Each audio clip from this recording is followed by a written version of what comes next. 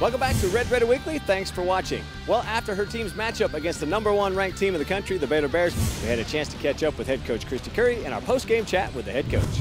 All right, first of all, congratulations on uh, beating the number one team in the country. And you take us through what happened in the locker room afterwards?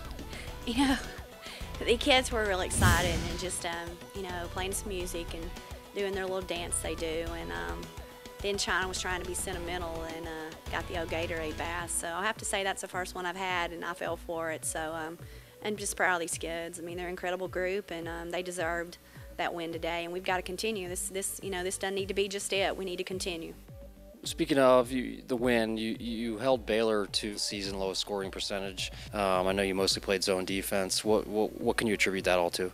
You know, I thought um, you know our two-two-one press of, of, containment was really good, and you know even though we weren't getting a steal, we were making them start their offense with 21, 22 on the clock, and um, making them react pretty quickly. It was tough on them to get some ball reversal, all the little things against the zone that you have to do tendency-wise, and you know I thought we were effective. And you know the bottom line is they missed some shots, and you know that's the chance you take in being in a zone, and we were able to, to do a good job on the boards. Anytime you can out-rebound them by two, I mean, you've got to rebound all five, and you know, we were able to make enough plays, get enough stops defensively, and make enough baskets offensively to be successful.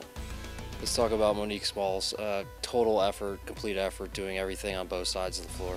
Well, you know, she uh, been through so much lately, and losing her grandma a couple weeks ago, and um, someone that she loves and so close to, you know, through a rough stretch, and to see this kid fight through so much adversity personally and continue to do everything she can to help her team. She's an incredible young lady, and there's nobody in America I'd rather have as my point guard leading the way, and she just does all the little things that makes her team better. You know, she's the captain of our ship, and um, I'm just really proud for her.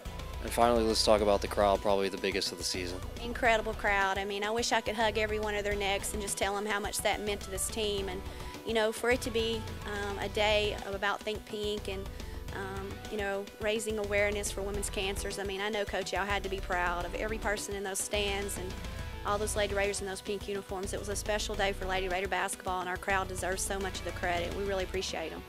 Okay, thank you, and congratulations once again. Thank you. Coming up after the break, the Texas Tech baseball team gets its season underway at the Red Raider Classic. We'll have the highlights. More Red Raider Weekly coming up next.